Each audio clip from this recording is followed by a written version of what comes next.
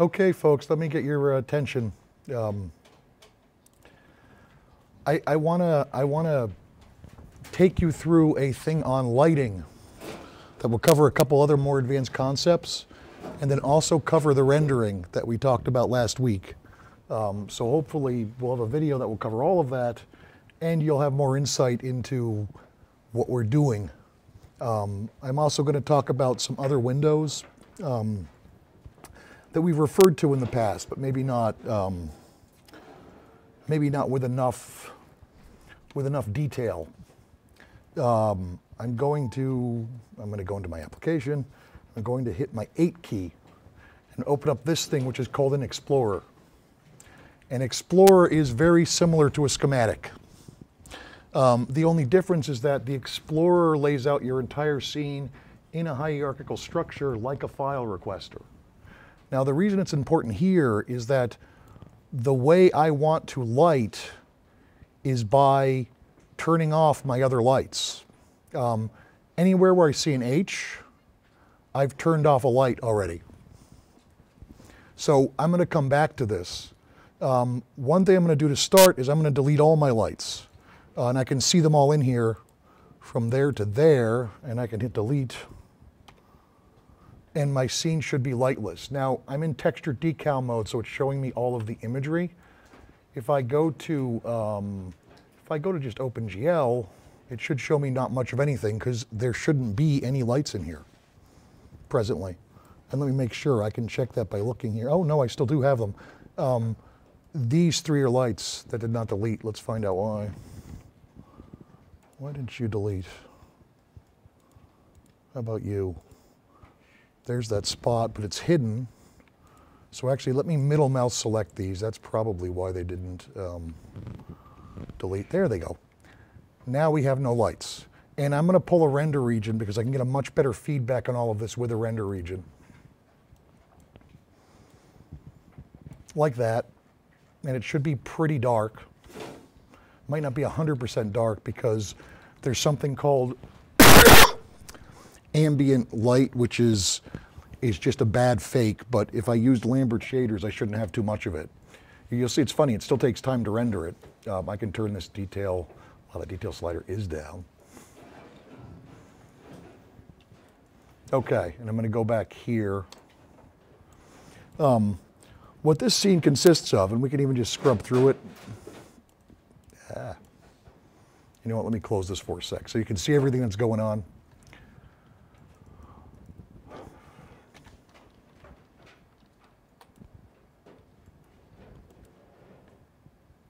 Almost. Come on, shut that. Oh, I'm still trying to render those. The reflections are causing it to have some issues there. Okay. If we look at it in the top view here, we have this camera path, we have the letters, we have two globes making our universe, and we have a couple globes making our world. And so if I, if I scrub now, we should see that playing, although it let me turn this OpenGL view off.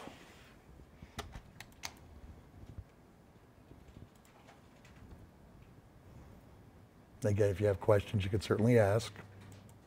Good. Uh, I'm going to go to uh, hidden line removal, which should be fast.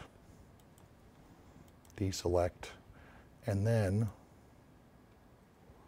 you'll see very little movement there.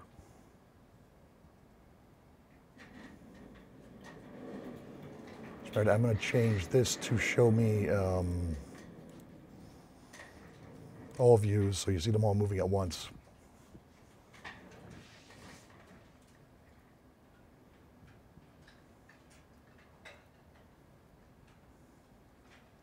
And you see the camera coming back. And the letters moving. And here I'll scrub it to give you a better.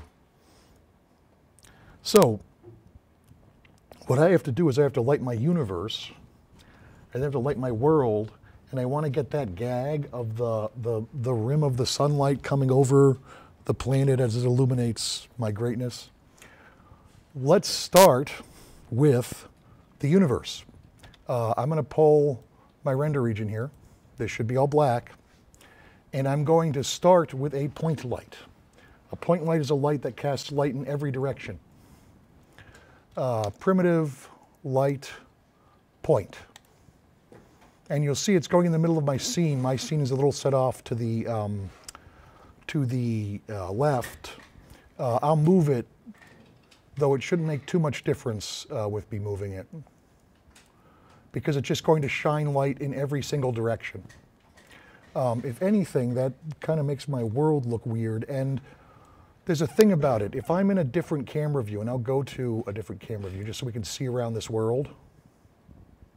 Yeah, come on, go to a different.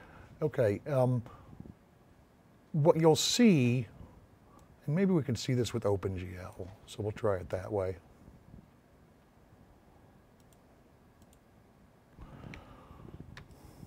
We can't see it well with OpenGL, that's for sure. If I move this light around, there it is. You'll see my scene change. See that?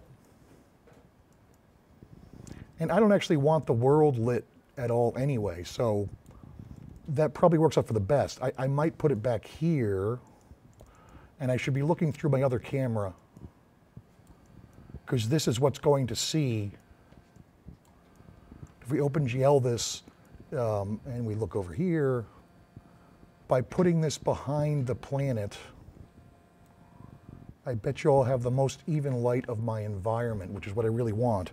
Let me pull a render region, and I will take a look. And this would also be um, the color of the world at night, as it were, with light not hitting it. Now I have some reflections and things to worry about, uh, mostly reflections of the rest of the universe, but that's based on the objects I'm using. Um, I might even want to fine tune those right now. Uh, I have to go in to find my world, although let me use that other window. Um, if I name things better here, it'd be easier to find my world, which actually is right there. Um, and then from there, I should be able to get to the shader right there and I can deal with the reflectivity issues. Uh, you're not reflective there, you are transparent. Although I can turn off transparency for you. That it must be the globe inside of that one. This one here. Alt and enter that one. Check that shader. There's my diffuse color. There's my transparency, my reflection. I can turn this reflection down. It will probably make this world look less shiny. Yes. I'm worried about that black gap there, but I think that's based on something bouncing back internally. We will talk about that. Um, but as long as this universe is okay, I'm pretty muchly okay with it. And the universe, wherever I'm looking at it, I'm seeing it as stars in the background, which is what I really want to see. So that point light is serving that role. Let's see here, if we look behind, do we see universe the way we want to see universe? And you notice this can be time consuming. Um, there are several ways to uh, shortcut this time consuming, by the way. Probably I could use smaller textures, but I kind of like these ones, so. Okay, so my universe looks okay back here. That's what I'm worried about. Um, Let's go to the far out position here. And now let's light the world.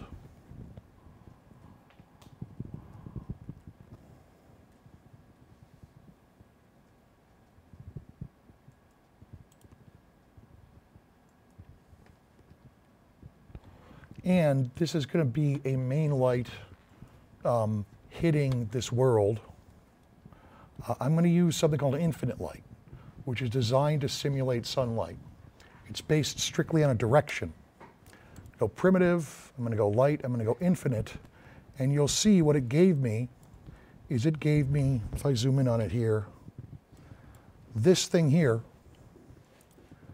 um, and I'll increase its intensity to one just so it lights everything up well. The trick about this light is that the location of it does not matter at all. Watch, that won't change. The only thing that matters with it is its direction. This should change it drastically, see?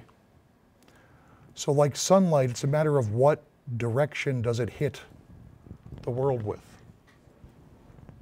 Now, I want this to light just the world, so I'm going to leave it hitting dead on like that. I probably don't want it to illuminate this whole background. So I'm going to try something, um, a more advanced trick, which is called inclusive and exclusive lights. I can actually tell what lights affect what objects by saying this light will only affect this and this, and this other light will only affect this and this. Um, right there it says selective light inclusive, which means whatever's included under this light, it will illuminate. Um, if I go back to that Explorer here, this is that light, and actually, you know what, let's rename it. Um, we should be able to rename it here, probably. Uh, we're going to call this world light. So I know that's what's in it. And I want these two spheres, this one and this one, which is here, and must have the other one in it, to be controlled by this. So if I take this and I drag it up here and drop it, it should now be underneath this. Uh, we'll even call this thing world or earth.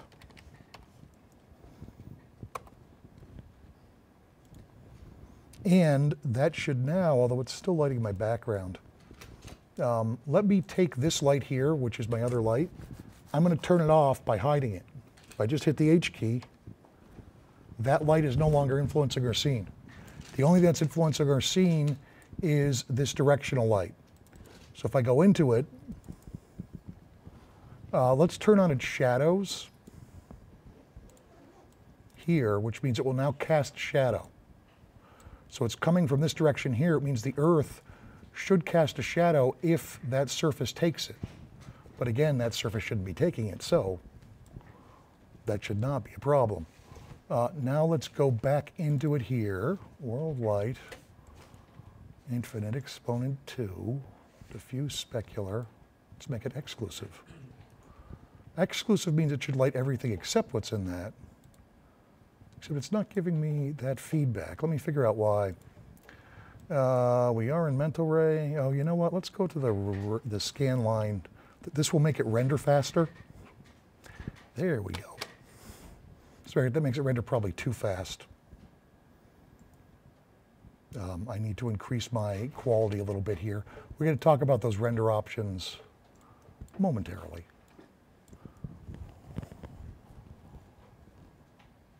Okay, that's, that's better. I'm going to use my back arrow to get back to my light here. Let's make this inclusive now. Which means the background shouldn't change, but the earth should. Uh, I'm going to try a larger intensity just to see the effect of the light. That's still affecting everything. And let me figure out why rendering. I probably have to go somewhere else to tell it to take the inclusive exclusive um, issues. Geometry, rendering, inheritance, modes, flat light. Uh, you are inclusive. You know what I'm going to do? I'm going to use our help. Oh my God, it just suddenly started, oh no, that's because I changed my intensity. I put my intensity back at one. A light value of 1.0 should kick back the same value it gets. Uh, light type, exclusive, let's see where they say that. Uh, selective light, okay. The associated models, right.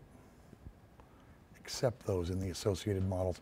Let me make sure it has the associated models, which should be here. World light, there's the problem. I have to put it actually up in here. There, haha. Much better. Made my Earth disappear, but we'll, we'll talk about that. I have to take this guy too, wherever it might be, sphere three, and I have to put it in the associated models too.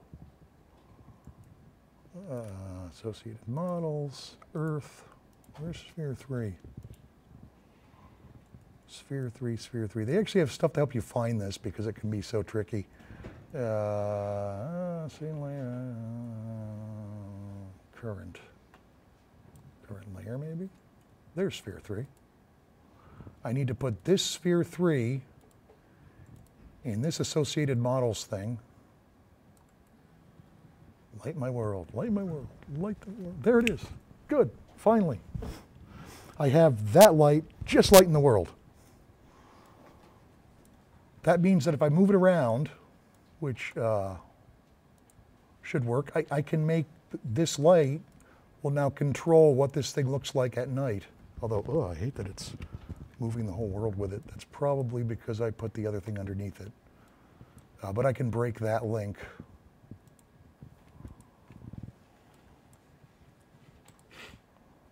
Good. That should now allow me to move it, yes. Um, okay. Now, let's go turn back on our other light. I go back here and I hit H again. We now have both lights lit up, although this is a case where I don't want the world to be lit by that light that's lighting my whole background. So let's take the universe, which I know is this and this, sphere one and two, and we'll put those in this light, which we'll also rename universe lighting. Assuming I get my property panel, which is way down here. Come to me, property panel. There it is. No, actually, that's some loose Explorer. Year of my property panel. Okay, my property panel. We're going to call this universe light.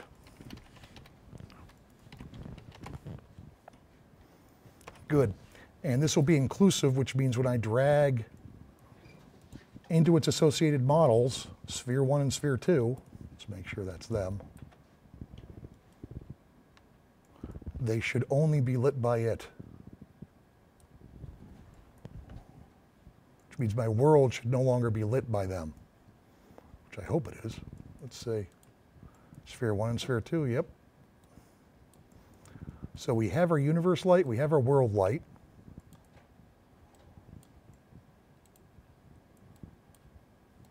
And we can now play with them. If I modify the universe light, we'll put it to 1.0. It shouldn't change the coloring on here. It's changing it a bit, I think, because I still have a reflectivity issue on the planet, but I'll, I'll deal with that. Uh, I'm wondering if I want shadows on with it. Let's try shadows and see how it affects it. Not too much. Okay. I have these two lights now. And let's go back in our timeline a bit. There's something I should do, by the way, which I haven't done in a while. That's right, save, good. Because I put all this work and I don't want to lose it.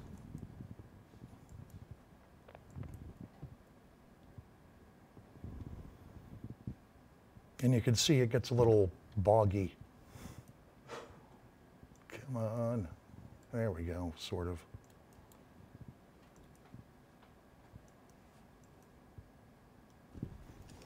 Take a drink.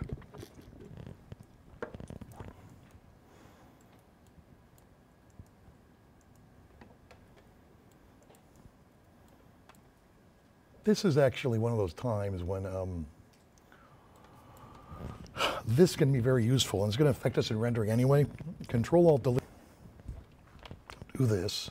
Start my task manager and put up my processors just so that I know my computer is still working. I can even hide this somewhere like over here because I'm not using that area that much. And then I know my processor in use so I know nothing's died. Uh, let's do the save as. Uh, you'll see even though this is final, I have a lot of different versions of this. Um, and you know what? I'm going to put it on Roto because Roto is where I want to render from our, our network. Uh, but not right now. I'll, I'll keep it here for now. Let's call this uh, Logo Render 4 with Motion Blur Final 10. Just sort of like the whole Final Fantasy thing. Uh, and we're saved, which is good. And so now I have, this is my world at night. And I kind of like that. I'll even turn this down a little bit.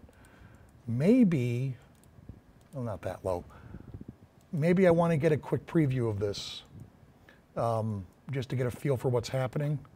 Uh, I'm going to do a start capture.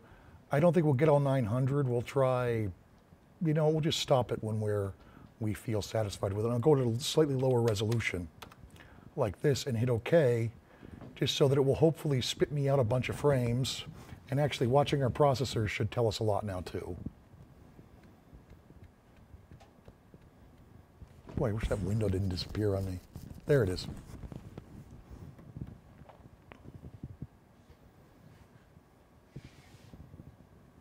I'm working off a USB 3 drive, which I probably shouldn't be. Tell you the truth, that might be causing more of my slowdown than anything else. There's the first. Yeah, this is too long. I'm going to move myself local because I, I, feel, I feel if I move the files locally, they'll work a lot faster. Um, and the way I'm going to do it, stop, stop. I'm actually going to shut it. I'm going to drag the whole folder over. And these are the old ones. We know we just saved, so no need to busy it with that. Paying that out. Uh, I'm going to head over to my uh, removable drive. I have that whole folder here. That's where I've written everything. Let me make sure of that. there it is. That's my last one there. Uh, so let's just take that whole folder and we will drag it over to our plenty speedy network drive. This thing should deliver 60 megs a second, which it's strangely enough doing. Man, you have to like that. Okay. That worked. Let's head back to soft, soft, soft, soft, soft, soft. Now we'll reopen it from the network drive. It probably should do everything a lot faster.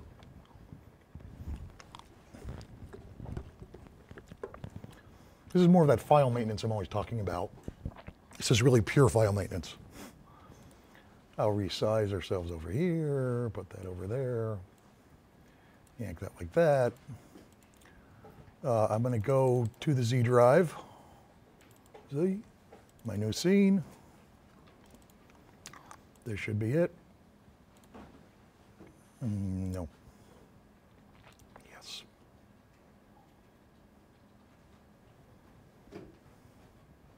Let's see, there's one processor working away there. Up oh, a few more. Let me resize this.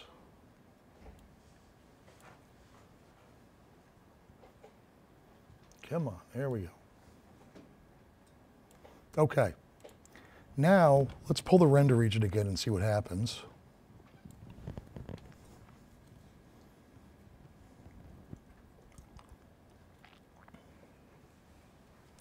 If I'm correct, these machines have four cores, and each core is hyper-threaded, which can be an issue, but so it shows eight separate processors.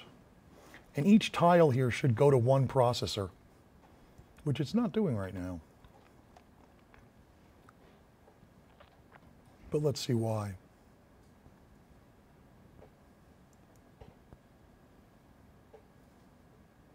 There they go.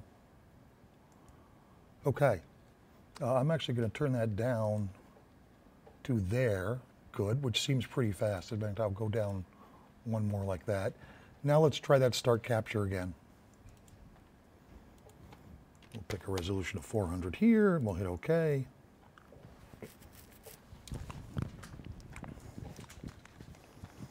There may actually be a render setting that's slowing this down because I used a very large tile size. Let's see what happens here, which will normally go faster when we're doing a high-res image. Though it might be that the tile is so big, it can't use all the processors, which means I'm wasting, I'm wasting processor cycles. Because I, I, when this is doing that, I'd like to see that pinned to 100%, and I'm not seeing that.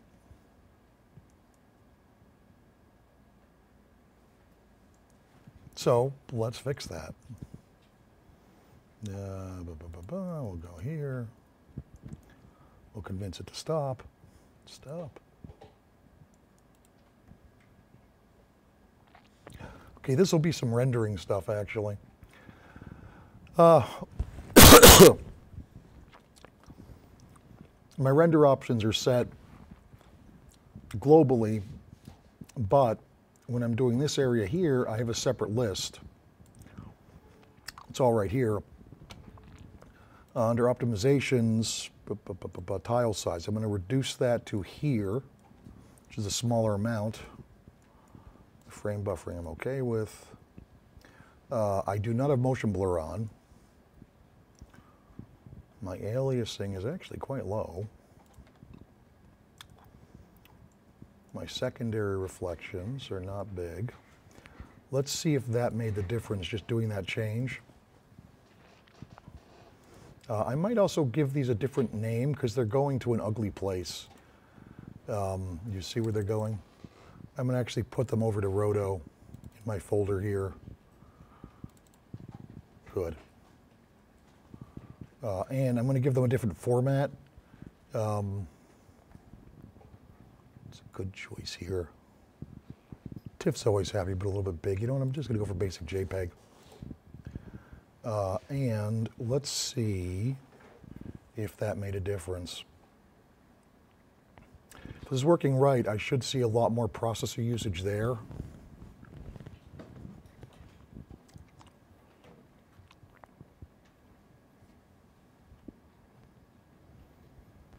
Feels like it's sort of taking its time.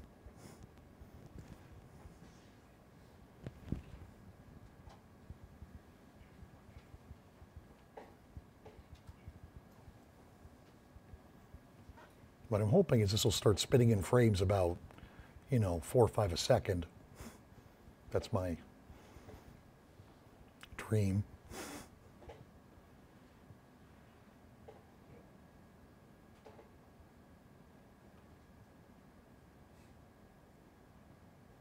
once it gets done all of its paperwork issues.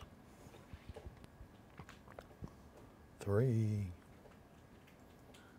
Man, it seems like the read and writes are what are causing the problem here. Because this would take forever for me to just get this test render. And you'd like to do test renders before you do big renders because, you know, you won't know what's going on otherwise.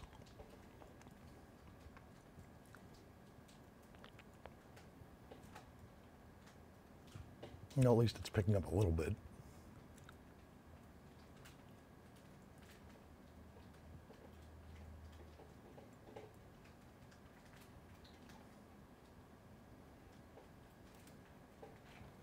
That little window down there that says render is the one that actually shows what it's doing, but I still have some other issues with it, so I'll let it get to 10, which isn't that far. No, you know what, I won't even let it get to 10.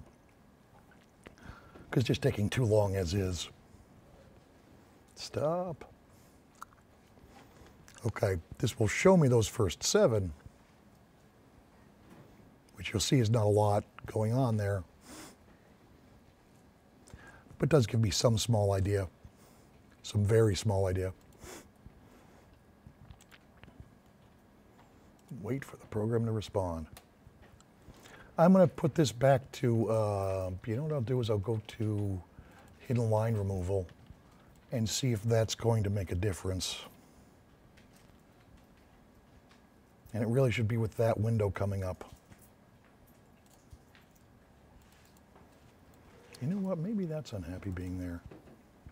That's possible that um, the CPU display window is causing it some issues. I'm going to put it, I'll put it there uh, and see if that's causing the problems. See, that should be getting ready to render already. Come on.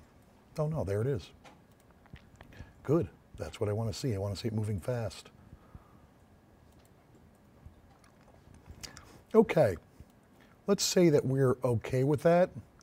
I want to light my letters now. I'm going to try something with this, with the letters.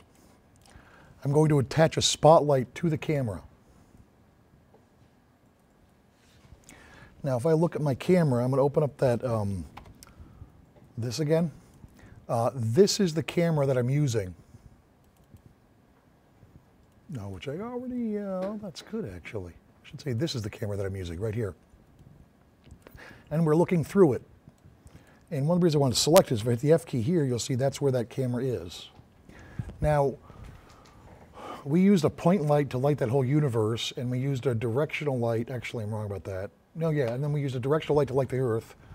A spotlight combines both a point light and a directional light. Both its direction and where it is matters. It's actually just like a camera. Uh, I'm going to go down here to light. I'm going to go down here to spot. And if I look at it over here, this is my spotlight. If I look at it here, uh, you'll see that I should get scene, scene, scene, scene root. Good. Um, I should get a spot root, and then I get a spot and spot interest. And if we try our schematic, F, we get this little parented structure much like we get with a camera, right? So, first I want to set the thing up. Uh, I'm going to go to it, um, and actually I'm going to do something else. I'm going to look through it. I can look through a spotlight the way I can look through anything else. Any, I should say, like a camera. Once I have a spotlight, I have a choice, spot. This is what the spotlight's seeing. I want my spotlight to be over by my camera. I'll back myself out here a little bit. And there's my camera. So I'm just going to move it the way I would use it with any other control here. Uh, I can even, this is sort of an interesting trick, if I select my light, or if I select my camera, I should say, camera, camera, camera, camera, camera, and I hit the F key, I just framed up the camera with the spotlight. What I mean by that is the spotlight just went over to where the camera is. Since these are virtual cameras and spotlights, I can put them right on top of each other. I can put a light directly in front of a camera, or I can put a camera directly in front of a light, and I never have to worry about what it sees. If you look over here, when I move the light around, you'll see it affecting what happens there. See that? So I can decide where I want it to be in relation to everything. I also can decide how big of a spot I want it to have. If I, um, and I'll do it from the schematic for a little bit. This is my spot itself. This is the angle that it's actually seeing. It says 60 degrees there, and do you see these lines? When I move these in, it's zooming the spotlight in. It's just on the D. See that? And I can see it lighting just the D over there. If I wanted to just light the C, and by the way, because this is Softimage, you can, you can animate any of this if I wanted to. If I was animating um, the rotations of the light right now, I could be animating it so it's going back and forth over these lights, so it's doing any sort of thing I want it to do. Now, I actually want it to be bigger, although let me show you a couple of the features while we're here. In this window, we have two rings. This ring is the hot spot of the spotlight. This ring is the shadow area of the spotlight. So you see I'm right on the S here, but I go out to the D and part of the C. Um, let me um, let me decrease this area here so it becomes sharply in focus. Uh, let's see, that's my cone angle. No, that's just getting more of it. Let me hit Alt and Enter, bring up my whole property panel here. Um, there it is, the spread angle here. When I shut this to zero, that disappears and we should have a sharp edge on where the light finishes. Let me show you what I mean. It'll be halfway through the C. See that? That's like a sharp edge spotlight. If I want the spotlight to have a little bit of blur on the edge, and again, I could animate this too. Um, down here, this would be like two degrees of blur. And so just that area there will be blurry and you can see it like that. Now, I probably want to have a slightly bigger area than this and I want it to light both all my letters at once. So maybe something like that and a little bit wider out. Maybe something around there. I'm going to increase the intensity of it to 1.0 so it spits off a lot of light. I will turn on its shadows because I want to get the effect of the shadows. which means these will actually cast shadows on each other. See that? I might turn up this detail a little bit so I can see it more. Good. Um, I may even decide to make it a little bit yellowish just because it will give it a warmer glow. But really, I should probably change the color of my letters, but I'll, I'll try that another point. Um, for now, this is fine. Um, let me parent it in now. What I need to do is I need to take this light here, I need to parent it to my camera, which is parented to that curve so that everything will move together and Bob's your uncle, as they say. Uh, okay, so here's my light. I'm going to cut it. Actually, you know what? I'm going to take it and its interest, both of those. And I'm going to cut those from their root. So they're no longer connected to their root. I can delete the root. And I'm going to take them and I'm going to parent them to that. Parent, middle mouse, this guy, right mouse. And what they should do now, if I move, watch down here, my light's moving with my camera. Let's see when it re-renders this. Come on, re-render. Yep. Now if we pull out to here, let's see how it's lighting it.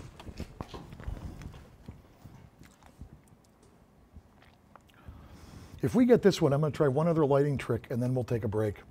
Good. Now, the only thing here is the world's getting very, very bright because we have that inclusive exclusive thing again. And what I probably want is I probably want this spotlight to just affect my letters. I'm getting kind of heavy into inclusive lights here. Um, I personally like inclusive lights and exclusive lights. It's a good way of controlling your lighting. It's something you can't do in reality easily. Let me open up that other window. Good. And um, I'm going to open up that Explorer again, which is here. Uh, we know we want this here spotlight, which is probably to be somewhere deep in my camera. Camera, there's my spot. We want this spot to be controlled by, ah, I'm sorry, we want these letters. We want these letters to be in this spot's associated models. So I'm to open up these windows like this so that I can take this and drag it up here and drop it. And now it should just affect those letters, which leaves all the rest of my lighting the same. So that when we're dead on it, we should have this spotlight just illuminating those guys. It means I might even want to increase the um, the brightness of the spotlight so it gives me better kickback if I want because it won't affect anything else.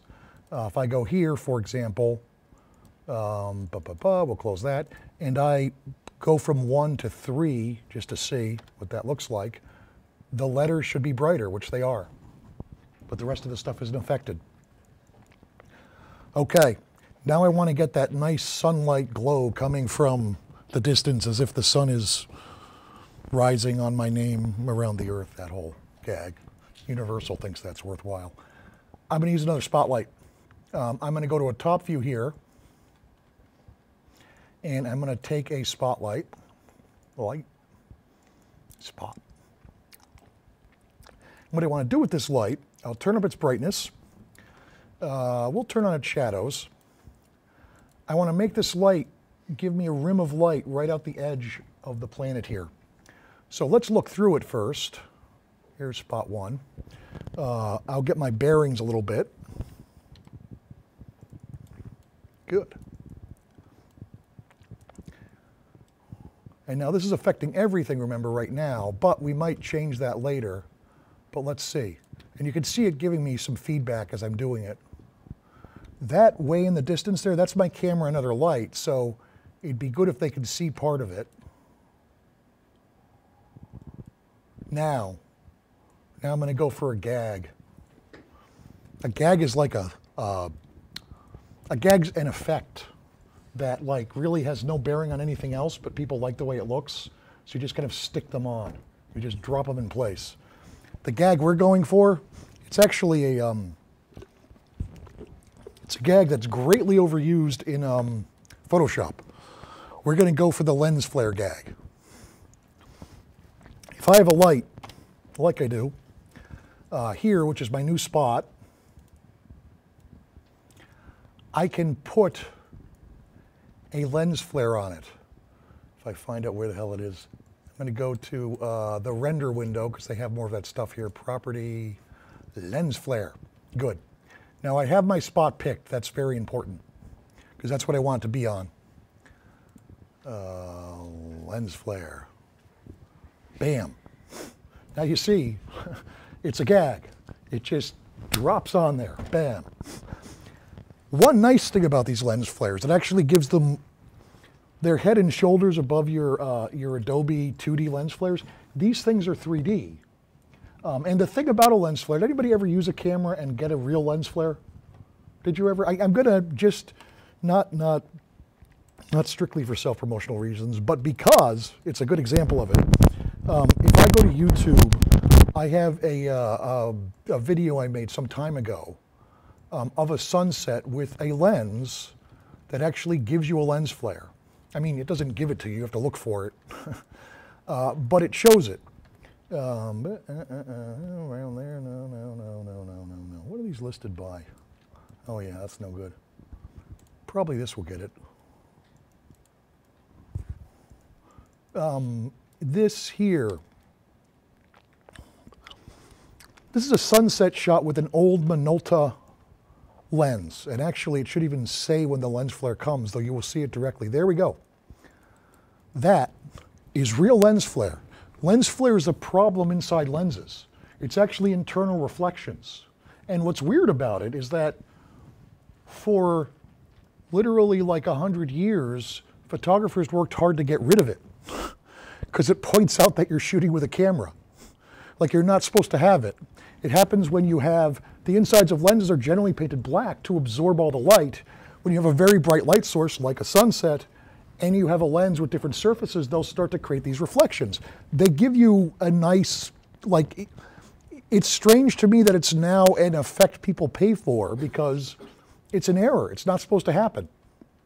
Um, you'll see another one later down here coming right there. And actually, it's funny because this will be star shaped.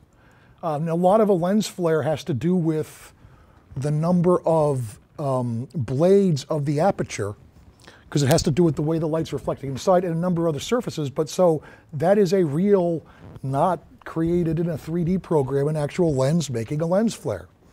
Now I show it to you because if you look down here, that's designed to imitate it. And the thing about it is, since this is a 3D lens flare, it is very controllable. Um, I can have the number of rays I want this thing to have. And actually, I prefer four if I remember right. Make sure I get in the right place on it. There we go. That's four. I kind of like that. Um, I can, uh, you know, I'm gonna have them auto rotate and I'll turn on twinkle as well for whatever that does. I can control all the other settings too. Um, brightness, size, let's make it smaller although that doesn't seem to be doing much to it. Most of these controls, whoa, that was a massive change. I do not want to mess with the aspect ratio. Let me try size again. Oh, how about brightness? How about a lower brightness? Okay, let's see what glow does. Glow isn't even on, but watch what happens when I do turn it on. It'll be kind of scary. Or I'm wrong, it won't be kind of scary. Let me try a different frame because sometimes you have to um, jump to a different frame for it to reread everything in.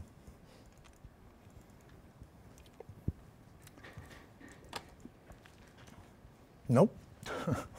okay, let's increase the brightness of that. Come on. I can actually do it on any light. I can have lights give off lens flares or not give off lens flares, though you do have to see them to get the effect you want not giving me any good effect there. You know what, let's see what happens if I pick flare file. We'll pick standard large. Okay, that added a lot more noise here, see that? And now let's try this. There we go. That's giving me more, whoa. See, that's, that's, that's kind of cool, but you know, I don't know if it's that useful. Although, to tell you the truth, I sort of like that. So what I'm going to do is on frame 900, this is what I'm at the end. This is what I want the lens flare to be the most pronounced. By adjusting where the light is, I can control the lens flare. Let me show you what I mean. If I move myself over so we don't see it, no lens flare. As I get closer to the edge of my planet, that's where we start to bring in the lens flare. And you'll see it's a fairly subtle movement. Wow, it's a really subtle movement. Let me try bringing my, um, my light closer to the surface of my planet. Let me try changing the angle too.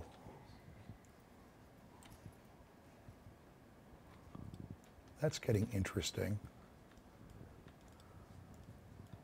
And so I might want to play with the movement of this thing as it comes across. So if I were to, um, yeah, let's go a little bit further there. It's funny, right when it meets the edge of this thing, uh, I'm going to go back to my light, and I'm going to change that outer edge uh, ba, ba, ba, down here so that we don't have any sharp outer edge, so that it is strictly when this part hits it that it would see the light, as it were.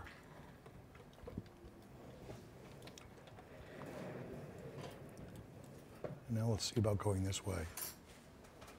Remember, the whole purpose of this is just to light up the edge of that planet. So I could play around with that.